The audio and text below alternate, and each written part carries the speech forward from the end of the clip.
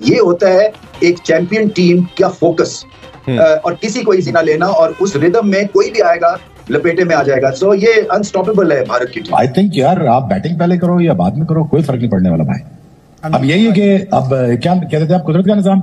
कुदरत का निज़ाम आपको हराए तो हराए भाई जान आप दूसरी टीमों का इतना बुरा हाल किया हुआ है कि वो तो सोच ही नहीं पा रहे कि इस टीम को किसी ना किसी तरीके से हराया जाए। ज़ाहिर सी बात हर टीम पूरी प्लानिंग कर रही होगी इंडिया के खिलाफ कि इनको हराएँ किसी तरीके से क्योंकि मेरे ख्याल में आउटस्टैंडिंग क्रिकेट खेल रहे हैं बैटिंग देखें बॉलिंग देखें। साला इंडिया को हराना कोई हलवा है क्या भाई? यार ये इंडिया की टीम ना जॉनी सिंह बनी हुई है। मतलब जो भी टीमें आगे आ रही है ना भाई बगैर थूक के भाई ये पेल रहे हैं। मैंने कहा भी है ये जो एटीज की वेस्ट इंडीज टीम थी ना ये उसके एट पार है रिगार्डिंग परफॉर्मेंसेस और रिगार्डिंग जिस तरह से डिफरेंस डाला हुआ इन्होंने क्योंकि आप चाहते हैं कि इनको मैच करें skill wise fitness wise game awareness wise you know batting talent bowling talent wise ये साथ नहीं किसी को लगने दे रही और बहुत बड़ा गैप क्रिएट कर दिया इन्होंने। आपने सुना कोई बात बोली जाती है कोई है इस बंदे से मुकाबला कर सके? तो मुझे आज लगता है कोई भी टीम है जो वो इंडिया से मुकाबला कर सकती है। जिस स्पिरिट से वो खेल रहे हैं और देखिए एंजॉय कर रहे हैं। अरे दे दे आर क्रिकेटर्स तो हैं।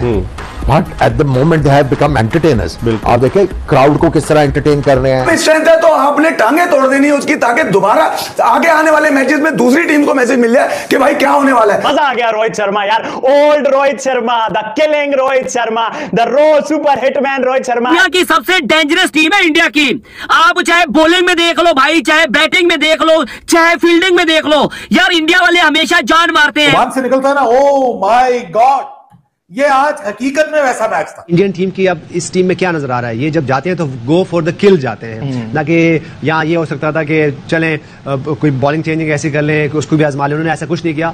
और जिस तरह कैप्टन रोहित ने कैप्टनसी की वो हमारे सामने है। बहुत अमेजिंग परफॉर्मेंस अमेजिंग परफॉर्मेंस का। यार इनको वनडे फॉर्मेट खिला लो इनको टेस्ट फॉर्मेट खिला लो इनको टी ट्वेंटी फॉर्मेट खिला लो। ये टीम आपको उसी तरह परफॉर्म करती नज़र आती है। मतलब कुछ इस टीम में कुछ अलग नहीं होता। कहता हूँ कि मज़ा आ गया यार ये वो टीम है। जो हमें हैरान करने से बाज ही नहीं आ रही बार बार हैरान कर रही है। क्या कॉम्बिनेशन खिलाया? मैंने पहले कहा था कि श्रीलंका को श्रीलंका को ऐसे मारना कि साउथ अफ्रीका की मार भूल जाए मेरे ख्याल से अगर मैं इंडियन बॉलिंग की बात करूँ तो बड़ा वाइजली उन्होंने बॉल किया एग्रेसिव बॉलिंग की और जहाँ उनको नज़र आया कि ऑफ़ द पिच सीम नज़र आ रही है। तो उन्होंने बिल्कुल लाइन में बॉल की लेंथ उन्होंने अच्छी रखी और मोहम्मद सिराज की क्या बात है। घंटे को रगड़ना भूल जाओगे। चूसते चाटते लटकते रह जाओगे तो बढ़ाएगा तुम्हारी ऐसी की तेज़ी है। आप जब सामने होंगे रोहित और कोहली तो ऐसी पिच होगी तो देखने का मज़ा भी आएगा। यही तो मज़ा है यही तो क्रिकेट है कि जब ऐसी पिच को आपको मैच देखने को मिलेगा। कि जिस दिन रोहित नहीं चलते उस दिन कोहली चलते हैं। जिस दिन कोहली चलते हैं उस दिन रोहित नहीं चलते। अगर आप सीक्वेंस चेक कर ले तो ये दो ही रन मारते रह रहे हैं। इन दोनों के मिलाकर ही तकरीबन छह सौ साढ़े यार, इनको वनडे फॉर्मेट खिला लो, इनको टेस्ट फॉर्मेट खिला लो, इनको टी ट्वेंटी फॉर्मेट खिला लो। ये टीम आपको उसी तरह परफॉर्म करती नज़र आती है।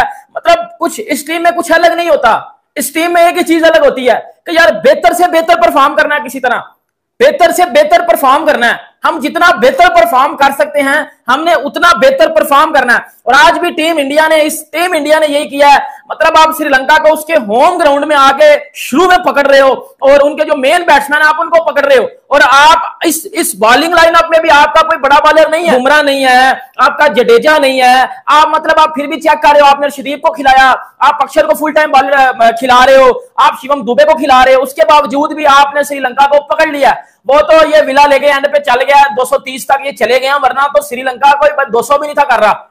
वरना तो श्रीलंका के 200 करने के भी चांस नहीं थे। आप जब सामने होंगे रोहित और कोहली तो ऐसी पिच होगी तो देखने का मज़ा भी आएगा। यही तो मज़ा है, यही तो क्रिकेट है कि जब ऐसी पिच को आपको मैच देखने को मिलेगा। अब आप देखें ना, यहाँ पे विला लगे ने जो बल्लेबाजी की है, विला लगे जाते जाते इंडिया को बता के चलेंगे कि इस पिच के ऊपर कैसे बल्लेबाजी करनी है। जिस तरह कुशाल मैंडिस ने शंका बल्लेबाजी कर रहे थे, असलंका ने बल्लेबाजी की, बाकी प्लेयर्स ने की वो जिसको कहते हैं ना, अलग क्रिकेट खेले थे, लेकिन जिस तरह से विला लगे, जो कि एक बॉलर जिसको अगर आप खोल के देखेंगे, उसके साथ बॉलर लगा होगा। इवन के धनंजय के साथ ऑलराउंडर लगा होता है, हसरंगा के साथ ऑलराउंडर लगा होता है, विला लगे के साथ बॉलर लगा होता है। हालाँकि हम जानते हो बैटिंग कर सकता है, उसको ऊपर भी भेजा गया। उसने बैटिंग करके दिखाई। इंडिया के लिए फ़ायदा यह है कि जो इंडिया ने प्लेइंग इलेवन खिलाई है ना, वो सारे के सारे स्पिन को बहुत अच्छा खेलते हैं। रोहित शर्मा स्पिन को अच्छा खेलता है, विराट कोहली स्पिन को अच्छा खेलता है, श्रेयस अय्यर स्पिन को अच्छा खेलता है, के एल राहुल स्पिन को अच्छा खेलता है, ये सारे के सारे ज़रूरत भी थी। लो स्कोरिंग मैच है, के एल राहुल से भरा इस मैच का कोई प्लेयर हो ही नहीं सकता जो इस मैच को फिनिश कर सके और के एल राहुल में इतनी काबिलियत है कि वो कर सकता है। अगर आप इंडियन बॉलिंग को देखेंगे इंडियन बॉलिंग के अंदर हर किसी ने परफॉर्म करके दिखाया दो दो दो एक एक हर किसी ने विकेट लिया है, किसी ने कहते हैं ज़्यादा विकेट नहीं ली, हर एक ने इक्वालिटी रखी, क्योंकि शिवन दुबे का भी बॉल अच्छा हो रहा था। हाँ एक फैक्टर हो सकता है कि ड्यू पड़ जाए और जिसको कहते हैं लंका को मुसीबत दुनिया की वर्ल्ड क्लास टीम हो। अब दुनिया की नंबर वन साइड हो। आपके लिए 230 के मुश्किल नहीं है।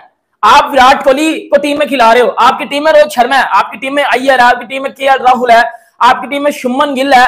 तो भाई, आपको तो मसला नहीं होना चाहिए, लेकिन आउटस्टैंडिंग बॉलिंग टीम इंडिया की तरफ़ से हर बंदे ने आगे जो है वो परफॉर्म किया। देखो, अच्छी चीज़ पता मुझे क्या लगती है? मुझे अच्छी चीज़, हमेशा से एक चीज़ ये लगती है कि यार, इस इस बॉलिंग लाइनअप में देखो, किसी बॉलर ने पाँच विकेटें नहीं ली। जब भी कोई मुल्क उसके इदारे परफॉर्म कर रहे होंगे रूल ऑफ़ लॉ होगा तो वहाँ मैंने आपको कहा कि ओलंपिक्स में सबसे ज़्यादा जो मेडल्स हैं गोल्ड मेडल्स वो यूएसए जीतता है। वो इसलिए जीतता है कि वहाँ पे एक सिस्टम है। और अब अगर हम इंडिया की तरफ़ आए तो इंडिया डे बाई डे उसका हर शोबा देखें तरक्की कर रहा है। हर शोबा तरक्की कर रहा है स्पेस पे वो चले गए। ठीक है? आईटी की एक्सपोर्ट देख लें। मर्सिडीज ने वहाँ प्लांट लगा लिया। आईफोन का शायद आई थिंक सो वहाँ पे है मैन्युफैक्चरिंग भी है अच्छा जब वहाँ पे रूल ऑफ़ लॉ होगा जब मैरिड होगा दोस्तों भारत और श्रीलंका का मैच टाई हो गया। भारत जीतते जीतते मैच को टाई ही कर पाई। अर्शदीप सिंह ने एक गलत शॉट की वजह से भारत जीता हुआ मैच टाई हो गया और भारत के लिए ये हार के समान ही है। और इस बारे में आपका क्या कहना है, अपनी राय कमेंट में ज़रूर बताएँ। मोहम्मद सिराज पर किसी को भी यकीन नहीं था, फिर भी मोहम्मद सिराज ने बहुत अच्छी बैटिंग की और कोई भी गलत शॉट नहीं लगाया।